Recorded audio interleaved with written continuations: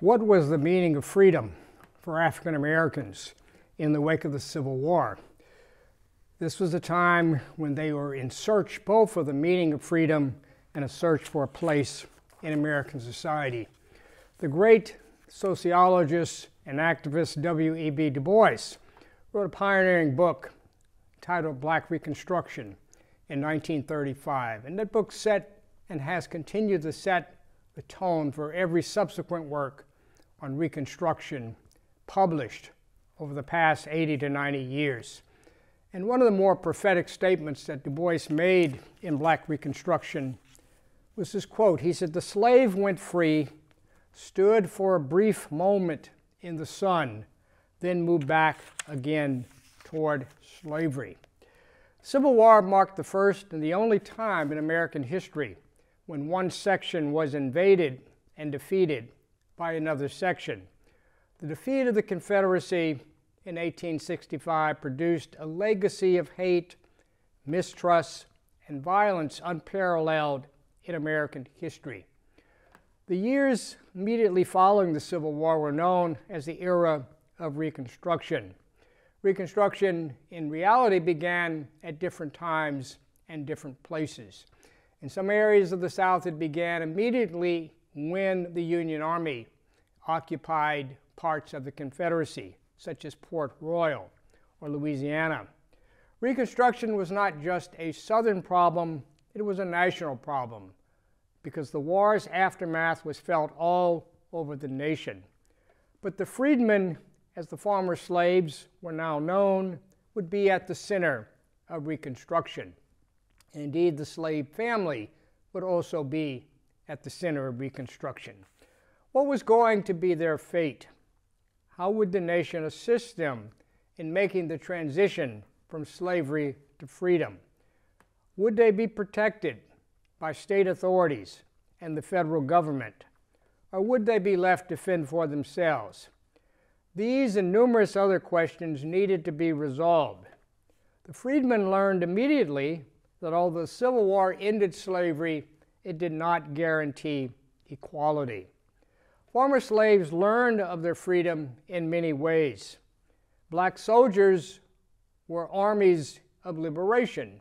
Indeed, liberators could be black or white because as many as 180,000 black soldiers were enlisted, volunteered from both the slave states and the free states to fight in this war. Even though the war was fought, according to President Lincoln, to bring the Union, succeeded states, back into the Union, African Americans also saw this as a war to end slavery.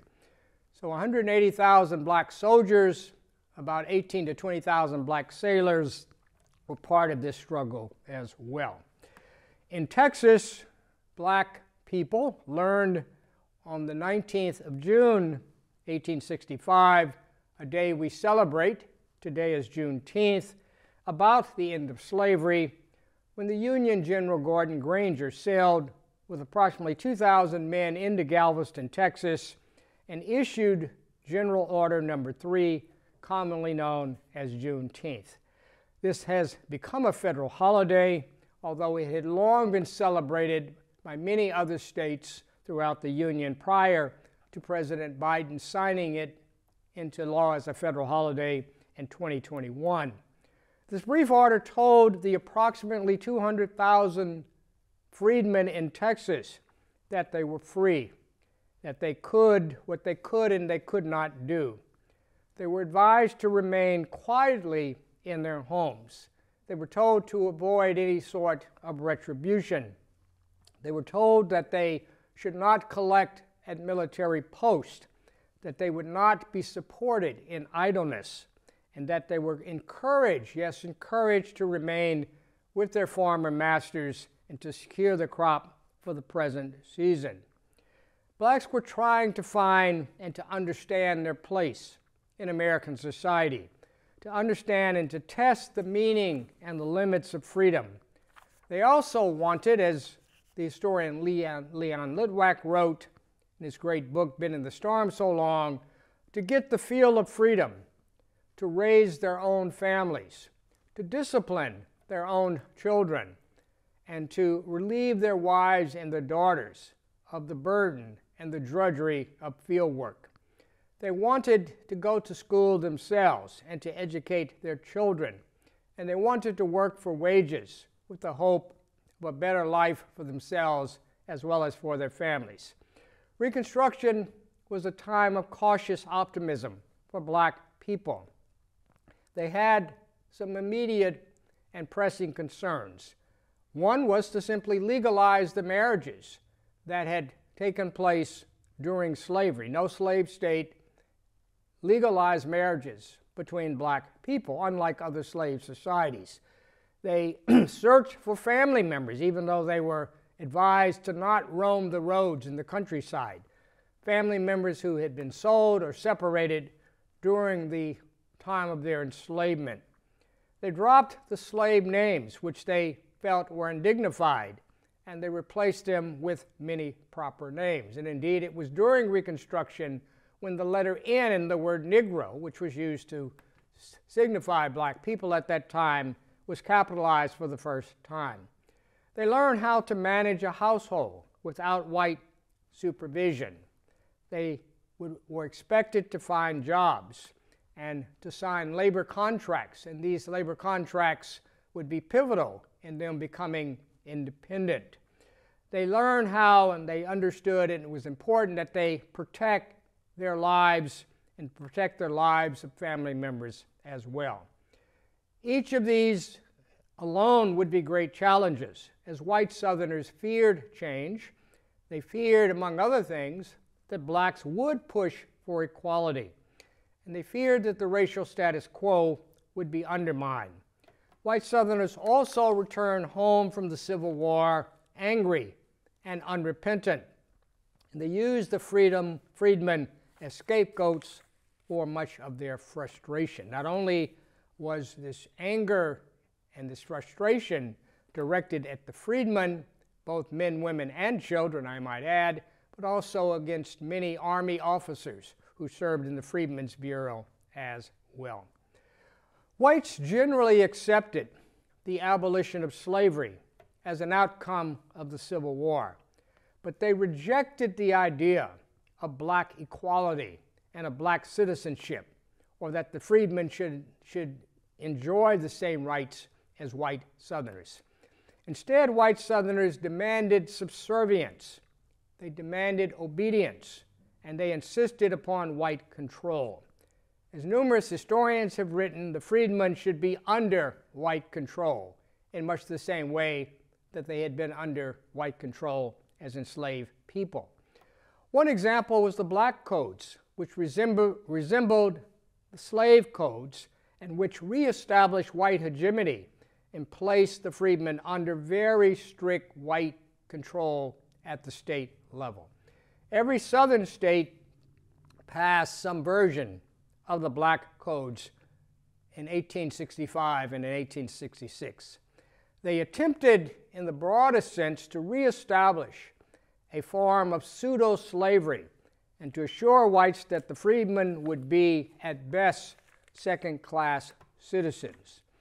The black codes did several things. They recognized the new status of black people as free, they legalized slave marriages.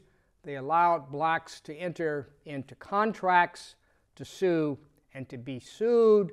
And they gave them a larger measure of control over their lives. But they also regulated black life in the South from literally sunup to sundown. They compelled black people to work. And indeed, one of the most conspicuous features in the Black Code were vagrancy laws which basically stipulated that if a black person was vacant uh, or idle, even if that person was between work, that he could be arrested for vagrancy, imprisoned for breach of contract, and would be either uh, in prison at the state facility or a local jail. Blacks could no longer testify in court against white people, although they could go to court and testify against themselves. There were curfew laws, very similar to the curfew laws that had existed under slavery. They could not vote, This would be resolved later. They could not possess firearms in many of the states. There were laws regulating speech and conduct toward whites. Again, the objective was to give the South control over their institutions and their people, and also to make sure that blacks, if they ever became citizens, would be second class citizens at best. One of the more important concerns of the federal government was what should be done by the government to assist the freedmen as well as white refugees after the Civil War. In March of 1865, a new federal agency, the Freedmen's Bureau, was established for precisely that purpose. This agency developed out of the War Department, and indeed, most of its officers were former military and current military people. This was a multiracial organization. It benefited poor whites as well as blacks, former slaves, anyone affected, refugee, by the war. Freedmen Bureau had chapters throughout the South, including the state of Texas. And one of the first tasks of the Freedmen's Bureau was to spread the word that slavery had ended. In remote parts of the South or in the West, some blacks did not find out that they were free until as late as November and December of 1865. The Civil War had ended in April of 1865, seven months earlier. Texas slaves, remember, learned of their freedom on the 19th of June. Most Freedmen's Bureau work ended at the end of December 1865. So this was a federal agency, although national in scope, that officially closed its books in 1872. Freedmen's Bureau was headed by a white Union general by the name of Oliver Otis Howard, O.O. Howard as he's known. The major function of the Bureau was to control all matters related to freedmen and refugees that included the supervision and the management of all abandoned lands. It issued provisions which included clothing, food, and medical supplies. It established schools for many African Americans. This was the first time that they would have the opportunity, including adults, to attend school.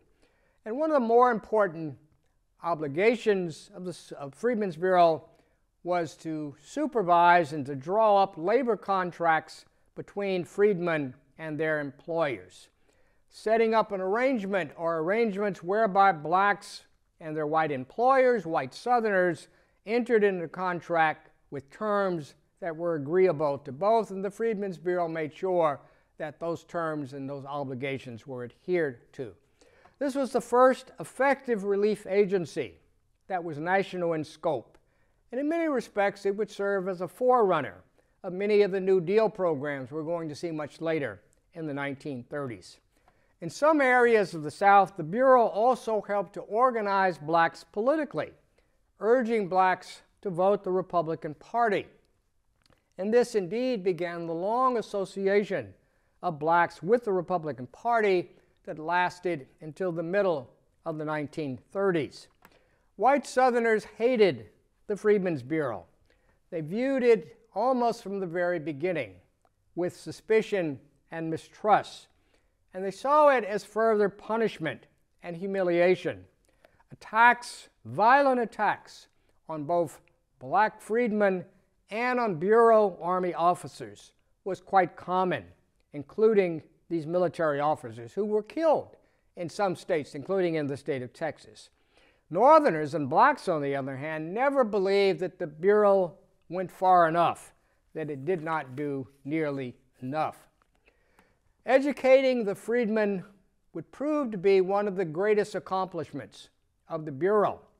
Indeed, when General O. O. Howard looked back late in his life upon his accomplishments as head of the Freedmen's Bureau, he was often dismayed. The redistribution of southern farmland, for example, had not come about. The labor system, which Howard had sponsored, had not produced a prosperous and resourceful class of black ag agricultural workers. In fact, almost nothing had been done to give blacks an economic base on which to grow. Even some of the early savings banks that the Bureau supported had failed. But education was the one piece of evidence to which General Howard could point to late in life when he sought to prove that his agency had indeed been a success. The Bureau sponsored schools throughout the South, over 4,000 schools. It employed over 9,000 teachers. Many of these teachers were white missionaries who came from the North or New England, and many were black who had, came, had come from the South as well. Bureau sponsored not just elementary and secondary schools, but for the very first time, a very small number of black colleges. Howard University, which is named, not surprisingly, after General Howard, Fisk University, many, many others, including in the state of Texas, were established during this era we call Reconstruction. The Bureau believed that the graduates of these institutions, particularly high schools and colleges, would be among the future leaders of the race. Indeed, the great educator Booker T. Washington, who published his own autobiography, one of the greatest selling autobiographies of the 20th century, would write that a whole race of people, he said, went to school at this time. The great black educator and clubwoman Mary McLeod Bethune would say that the whole world opened up to me when I learned how to read and Bethune and others of her generation would often learn how to read in these Freedmen Bureau schools. There were numerous obstacles, and some of these obstacles were massive proportions. And the greatest was illiteracy. Up to upward to about 90% of former slaves could not read or write at the end of the Civil War. And yet, because of 4,000 schools and over a quarter million students who received instruction, great strides would be made in cutting that rate of black illiteracy down tremendously by the 1890s and the early 1900s. By 1877, about 600,000 black students had attended Southern schools, not all of which were Freedmen's Bureau schools to be sure, but had attended schools in the South by 1877.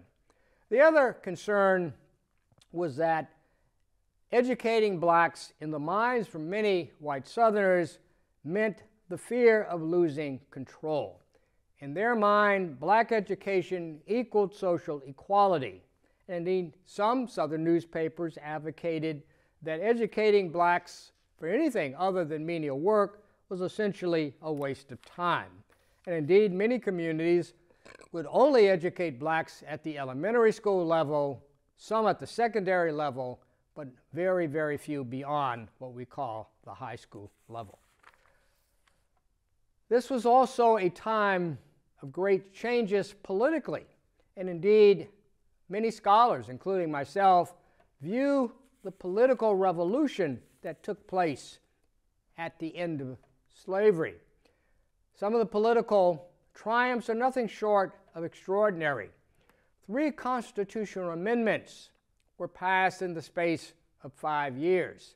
The first of these, the 13th Amendment to the Constitution, abolished slavery, It was ratified in December of 1865, and this was the first time, interestingly, that the word slavery would be used in the federal Constitution. The Civil Rights Act of 1866 gave blacks equal rights before the law and the rights of any citizen.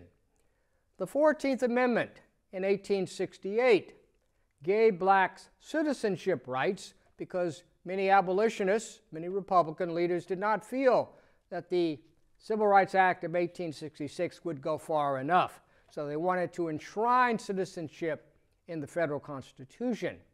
The 15th Amendment, passed or ratified in 1870, gave black men, though not black women, the right to vote. These amendments, these civil rights acts, literally sent a chill down the spine of every white Southerner. This is precisely what they feared might happen at the conclusion of Reconstruction, and they worked to try to limit these, uh, the, the, impact of these bills as much as they could. These bills are, in my, many ways, as I said, revolutionary. because on the basis of just the three constitutional amendments, let's think about that for a moment. Prior to the ratification of the 13th Amendment in December of 1865, it had been 61 years, yes, 61 years, since Congress had passed a previous amendment to the Constitution. After Congress passed not one but two Civil Rights Acts during Reconstruction, another Civil Rights Act would not be passed by Congress until 1957 under President Dwight Eisenhower. So, on this basis alone, many contemporary historians see emancipation and the broader period that followed, known as Reconstruction, as a revolution. An imperfect revolution, an unfinished revolution to be sure, but a revolution nonetheless.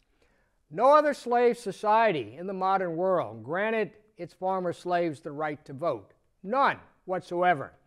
Nowhere in the Americas were former slaves officially granted civil equality immediately after emancipation. And white Southerners, by and large, as I said earlier, did not contest emancipation despite their disdain for black freedom. A small number of Southern planters were so angry at emancipation and the new black rights that they immigrated to Mexico and Brazil. But the majority, the overwhelming majority, seemed resigned to accept the fact that slavery had ended and that blacks, yes, were citizens, if only second class citizens. One important way for white Southerners to accommodate to emancipation was to actively engage freed people in the post war Southern economy. The Civil War shattered cotton culture, as well as tobacco, rice, and sugar production, but Southern planters literally reinvented themselves in the New South. Sharecropping, a new system of labor, emerged, and it became, in effect, the replacement system for slavery. Once it became apparent that former slaves would not be receiving land as compensation or any other form of major compensation, planners with the assistance of the Freedmen's Bureau, worked out labor contracts between themselves and slaves. And as I said earlier, perhaps the most important function, beside education, of the Freedmen's Bureau. Many planters, however, disliked sharecropping because they said it empowered the freedman. It gave him or her a voice, a say, unlike the system of slavery.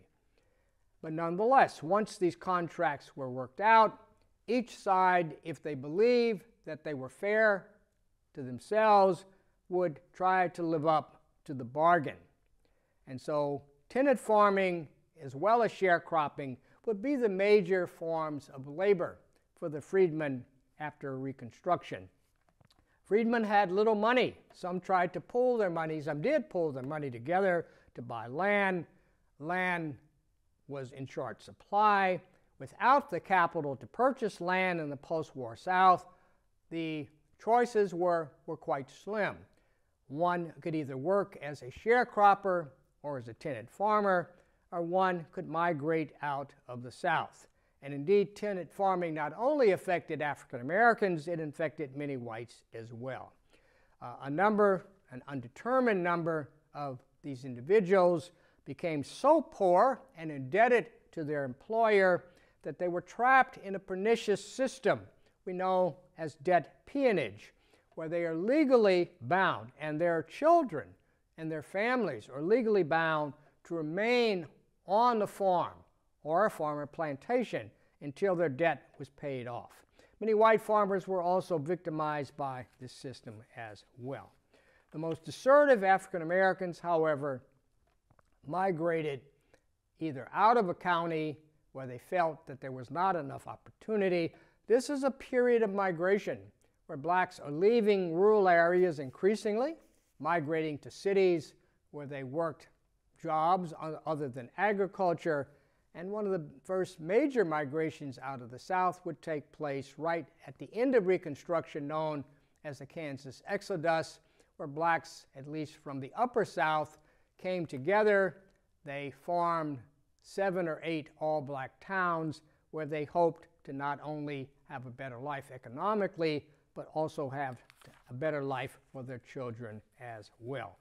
Leaving the South, however, was difficult. This had been their home forever, right?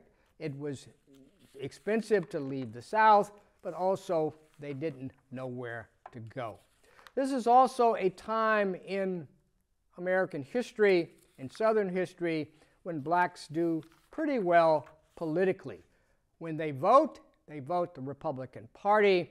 As a great black leader, Frederick Douglass, would say on more than one occasion, the Republican Party, he said, was the ship and all else was the sea.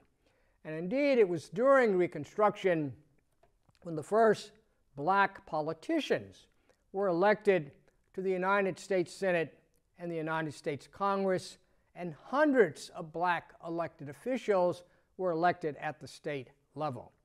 Two black senators, both from the state of Mississippi, Hiram Revels, a African Methodist Episcopal minister, had been a free black, a Civil War recruiter, would be elected to the Senate in 1870 and served the expired term, ironically, of the Confederate President Jefferson Davis.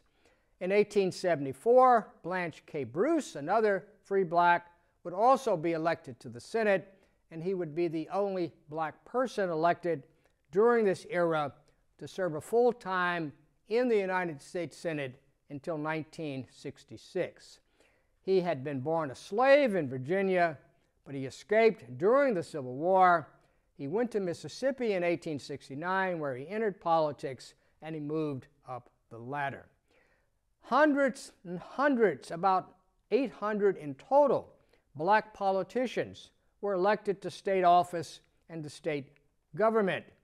Louisiana alone had 133 black legislatures between 1868 and 1896. Blacks served as lieutenant governor in a number of states. They even served as acting governor in some states, but they did not serve as governor. But this is a remarkable achievement because blacks not only were allowed to vote, black men, I might say, but they also had that vote protected, and they tended to vote as a bloc, much like white Democrats did as well. This is also the time when the first black people, under the protection and the guidance of the Republican Party, began to apply for admission to the military academies, particularly West Point, and they had not only to pass the rigorous entrance exam, but also to endure the stiff academic competition and also the very stiff harassment that they face. The first group of black people did not fare so well. They were harassed almost endlessly. They were silenced, and by silencing, I mean they were not addressed or spoken to unless it was an official matter. Can you imagine going to school, to college, to graduate school, and not being spoken to for three or four years by your classmates? In addition, some of these individuals were brutally beaten up. None of them survived the early admission. It would not be until 1877 when the first African American, Henry O. Flipper, graduated from West Point.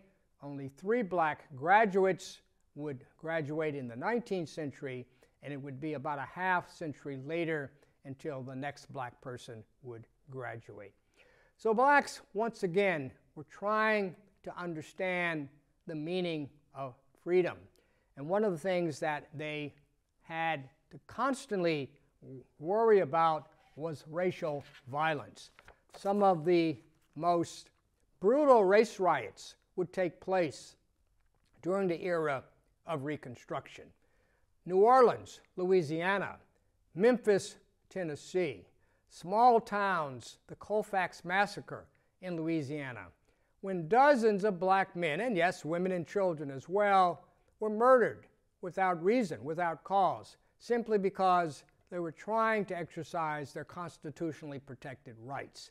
In many cases, white Southerners were angry that blacks had in fact voted, that they even registered to vote, and even more angry that they exercised that right and had been successful in putting blacks into political office. So oftentimes they were angry that the black militias were still operating in many southern communities. And one of the first tasks of white southerners after they gained control of their particular community or their state was to disarm as many of these black militias as well. They tried to do this because they knew that black people, as they had shown during the American Civil War, would fight for their freedom. They would fight to protect themselves and to protect their families. And so once these militias were disarmed, and there was very little question that black people in the communities would be protected by whites in places like Louisiana or Tennessee, it was literally open season. So some of the worst, the most vicious race riots that often don't make their way into history textbooks, either at the high school or the college level, would take place during this time. So the meaning of freedom obviously meant different things at different times, but it meant, again, getting a sense of how far one could go. What were the limits on black people? What were the limits on their families? Again, I think everyone understood that they would not be equal to whites. But this cautious optimism began to die down toward the end of the era of Reconstruction particularly so when the Ku Klux Klan organized throughout the South under the Grant administration, and initially, very little would be done to stem this tide. General Grant, who had supported colonization of blacks outside of the United States, as had Lincoln, as had many politicians, did, however, use the power of his office and the U.S. military to try to crack down on the Klan in the American South.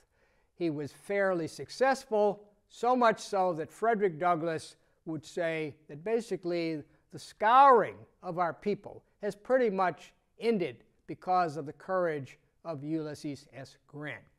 Ironically, very few of these Klansmen, despite their atrocious acts against freedmen, would ever serve a one day in prison because they would not be convicted by state prosecutors or juries throughout the South, which continued to terrorize black people throughout much of the 19th and well into this 20th century. Reconstruction finally comes to an end in 1877 after a very controversial election in 1876, which was rife with corruption.